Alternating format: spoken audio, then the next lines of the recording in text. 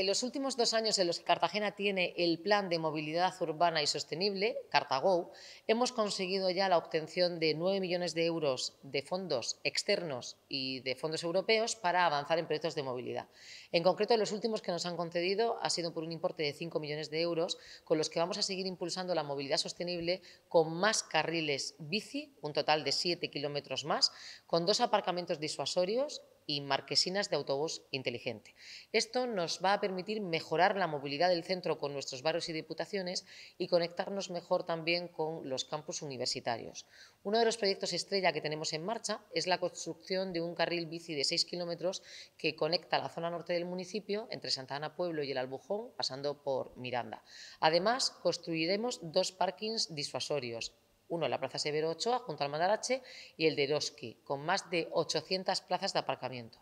Además, completaremos también el mallado de carriles bici en la zona del centro para conectar mejor